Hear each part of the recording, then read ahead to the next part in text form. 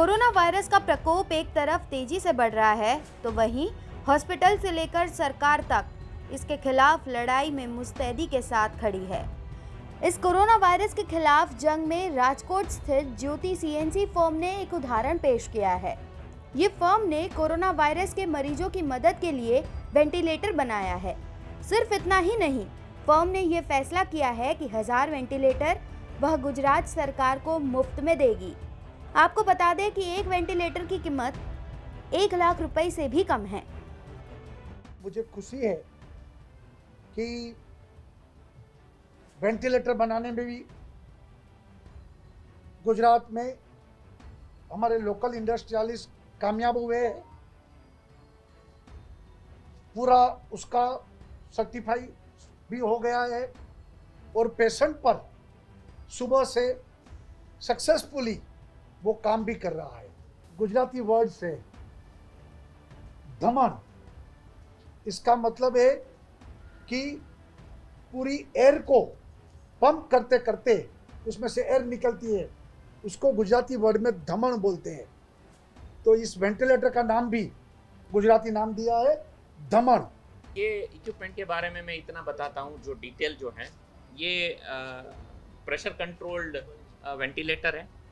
जो स्पेशली आज जो कोविड के पेशेंट्स को जिसकी ज़रूरत है, जो ये हमारे लिए आज के दिन में ये वॉरी है, ये स्पेशलाइज्ड है for a pressure control ventilator है, उसके लिए बनाया गया है। ये जो इक्विपमेंट जो साढ़े छः लाख रुपया में जो मिलता है, वो हम लोग one lakh rupees less than one lakh rupees में बना पाए हैं।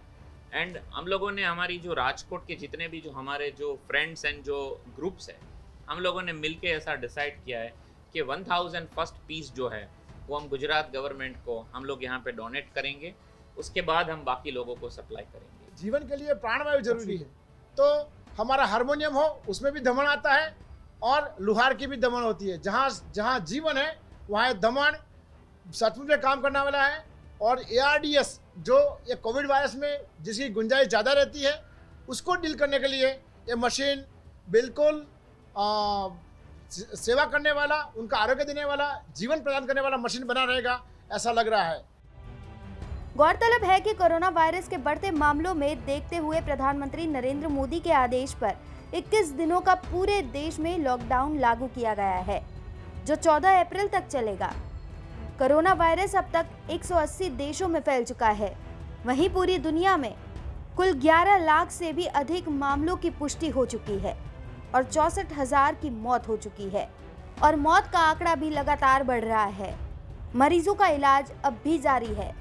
ऐसे में धमन वन वेंटिलेटर का निर्माण गुजरात के लोगों को मदद रूप साबित हो सकता है। Make in India, make in Gujarat की अवधारणा को साकार किए हुए हैं। ब्यूरो रिपोर्ट, गुजरात तक।